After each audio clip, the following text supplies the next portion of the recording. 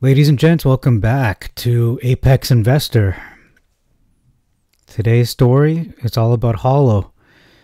And I forgot to mention yesterday, but for the first time in over, I want to say a month, I've never seen HOLO in the popular trending stocks on Yahoo Finance. Yesterday was the first day.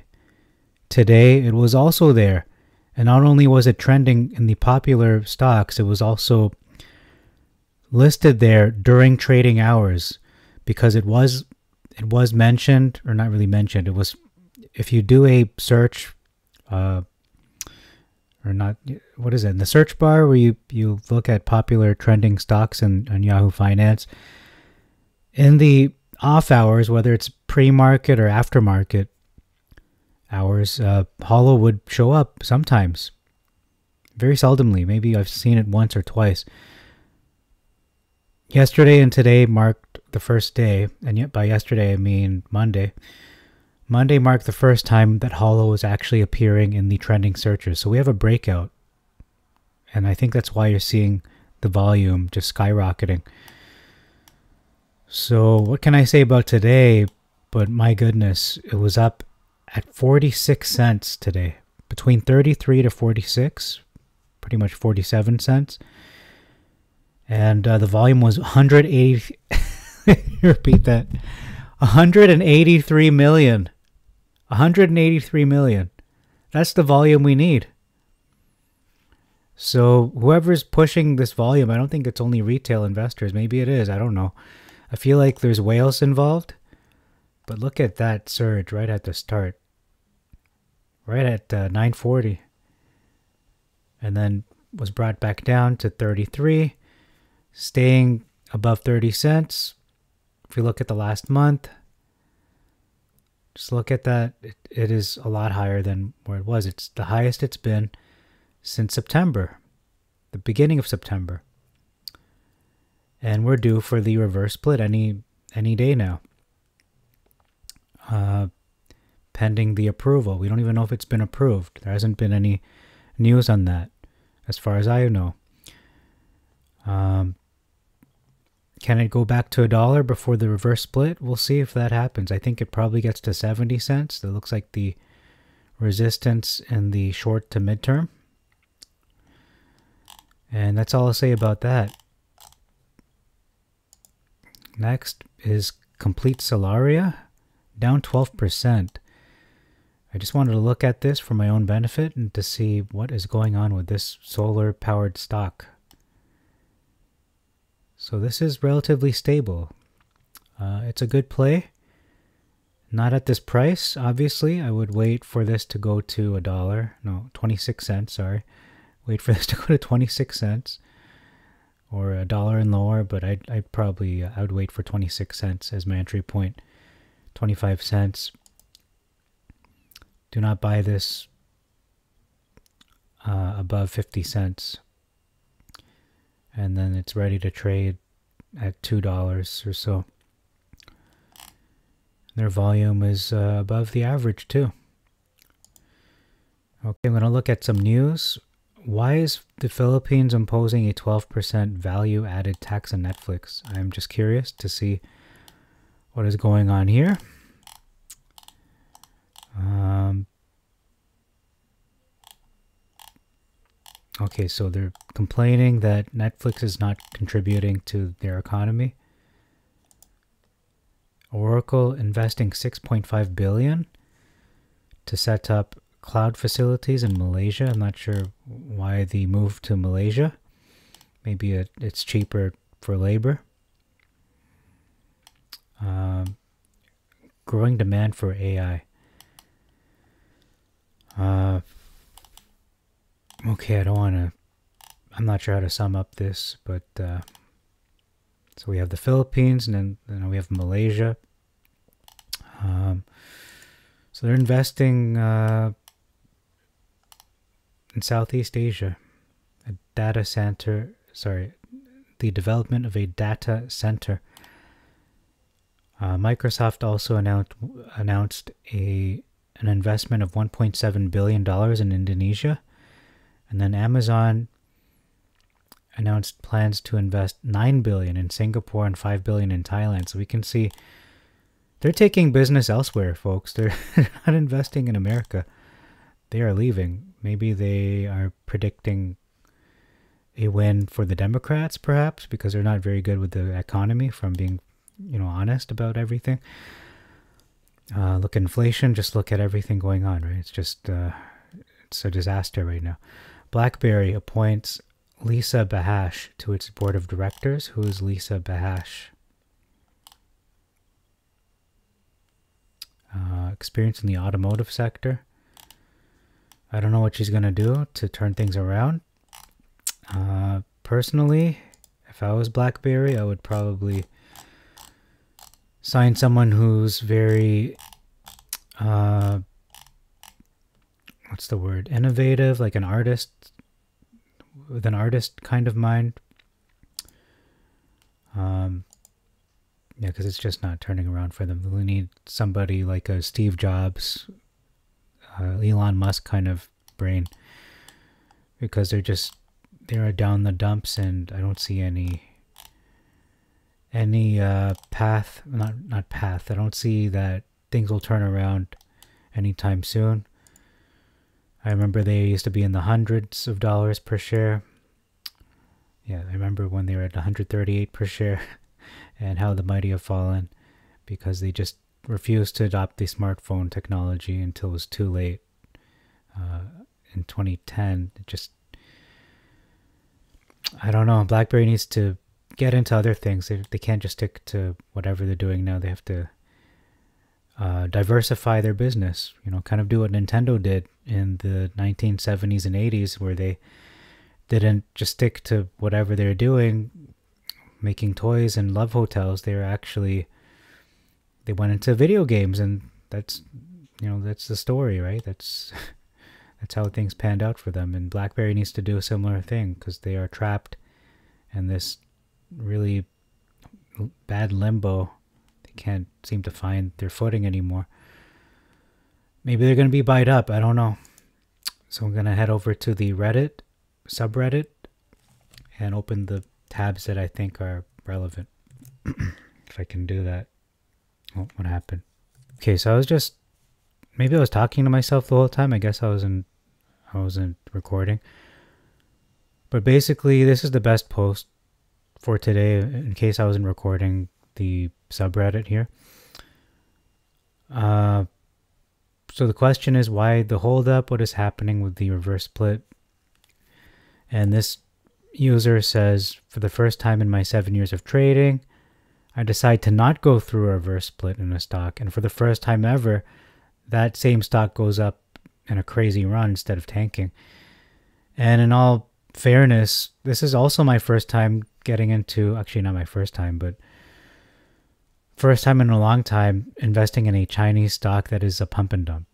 And I've done that before with Xpeng, with uh, other Chinese stocks, but I learned my lesson very quickly. However, it seems I haven't learned my lesson because I got into HOLO after looking at the the data and looking at the charts, mostly with the three three peat of the the pump and dump. Uh, so I think it's the first. It's a lot of firsts for a lot of us. And this uh, user responds to the question of regarding when is the reverse split, saying they're not required to do anything until February, so that's true. It's a good reminder. At that point, the 180 day period to get their stock above a dollar expires. And they only voted on a proposal to do a, another reverse split last Friday. We don't know if the vote was unanimously yes. We don't know. Or if it was no. I'm, I'm guessing it was yes because they want to make money. If they want to go out of business and burn 108 million US dollars, then they voted no. But I think 99% chance they did vote yes. However, we do not know when the reverse split is happening, and we're taking shots in the dark. Uh, just in case I wasn't recording, I don't know if I was, but just in case I, I wasn't, uh, this individual proposes a a date of Tuesday, October the 8th. And I'm going to game this and, and play with this proposal. Let's say it does happen on October the 8th because it seems it's a Golden Week holiday in China, so they won't be trading on the 7th, perhaps. I don't know. I can't confirm or deny that. We'll, see. But let's let's game this right now. Okay, October the 8th, the reverse split happens. I'm going to entertain that idea, that suggestion. So I think my personal opinion, again, I'm not a financial advisor. You can see that disclaimer at the bottom. A week from then to 10 days, so between the 15th to the 18th, we should see the price to start to move, not reaching the peak, but really building up momentum. Uh, hypothetically, again, let's say it it, it uh, enters the reverse split at at 30 cents. Okay, 30 cents, and you multiply that by two, which is 60 times 10. That is then six dollars. So it'll enter at six dollars hypothetically again, and then it would spike let's say it spikes to $10 in the first seven to 10 days. In the next seven days, you should see at least a doubling. Okay, this is all speculation on my part. So $6 going to 10, maybe 12, and then doubling again, something like 20 to 24. So that is a very realistic expectation. I'm not I'm not exaggerating and and uh, creating false expectations. I think these are very realistic, grounded expectations. Probably too low, in all honesty, because if we look at the last three splits, they they were at hundred dollars respectively. 100, 100, 100 plus, and then the third one 66, if I'm not mistaken. And actually, it did hit 100 during the third split, uh, third split, the third peak, the third price price spike. Uh, so let's look at that just just to show you 112 something like that 112 and then it did hit 100 here but it's showing up as 90 93 uh, and then more recently 66 so to say it's going to go to 24 is uh, I still think it's a little too conservative that's why I'm leaning towards 40. But the important thing is it's not the price. I'm not price is important, don't get me wrong, but it's about the timing. Timing is more important than, than the price because if we look at the patterns in regards to timing and the reverse split, the previous reverse split took place, uh, I believe it was end of January, beginning of February, and then the price spiked February 8th. So it took a week for it to hit the first spike. And then a week later, into the 15th, we can see it really shot up to the, the true spike, the true peak, the true re resistance, you could say. Uh, that was the between the 15th to the it's not showing up on on here right now. Oh, here it is. Okay, February 16th. So it took about eight days, but then right away it it got came down. So from the first peak, you've got a week. And I've been saying this from from the first peak, count a week. That's the real peak. That's the real price, basically the the best price you should sell this at. So again, uh, let's pretend this is uh, October the 8th, not February. And a week from then, that would be the 15th, so October 15th. Let's say it gets up to half of that, 14, and then eight days later, we should see something like $33. That's very realistic.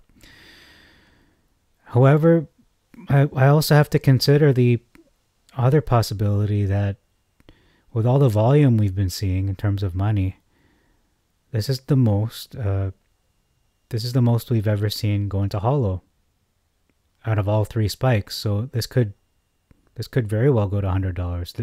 There is a possibility for it to go to 100. It could smash this uh, third spike for all we know, especially with the way things are going with the economy uh, and the attention this stock is getting, quite frankly. Just look at the volume 183 million.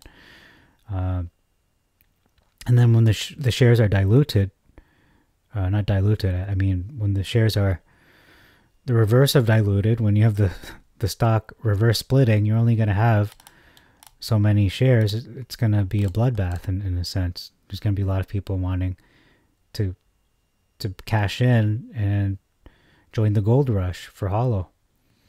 Uh, whether you like it or not, people just they want to get rich quick, and they want to join ride the wave, and that's what we see happening in the last week. All these people are waking up to the potential of the stock.